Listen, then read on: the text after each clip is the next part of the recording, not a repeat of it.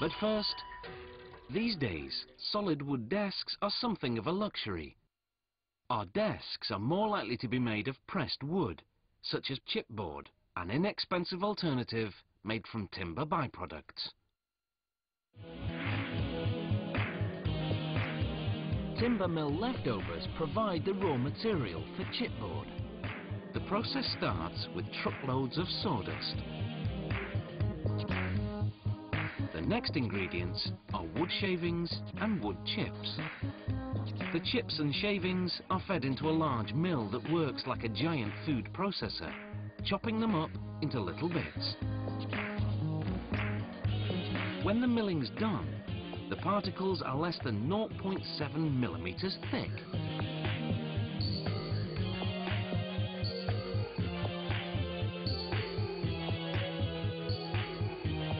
Take out any excess moisture, the particles are put into giant dryers for 25 minutes, whose combustion chambers are fueled by leftover dust from the chopping mill.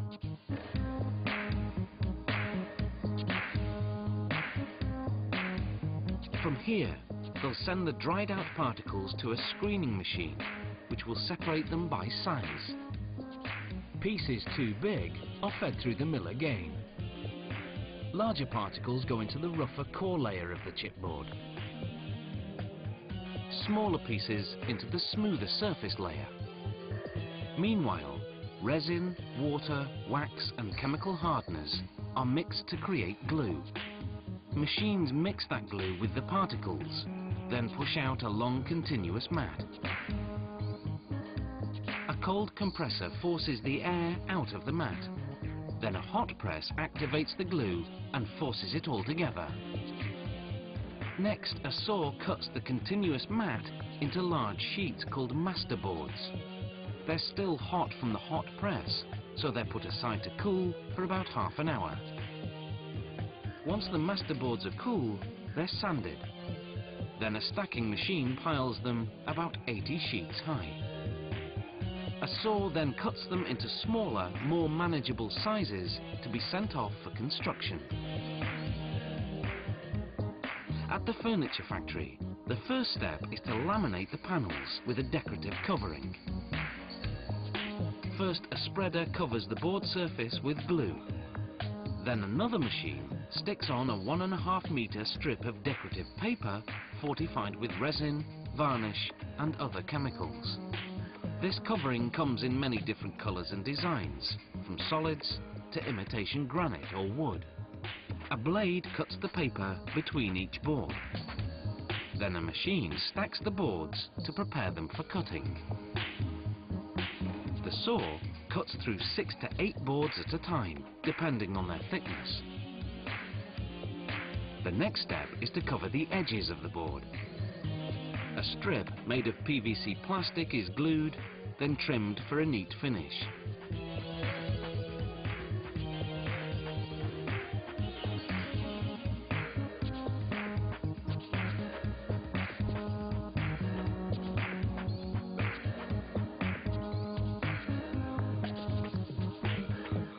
Next, they prepare the pieces for assembly.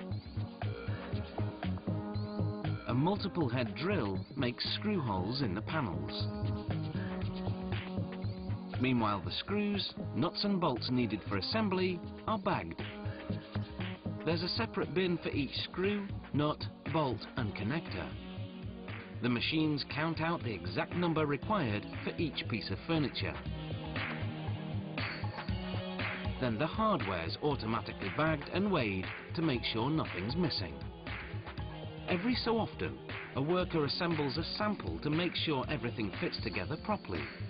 If it does, production continues and they can proceed to packaging.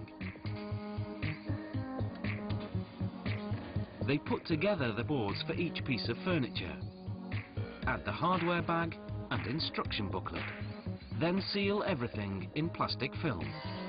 It may not be a mahogany masterpiece, but it does the job.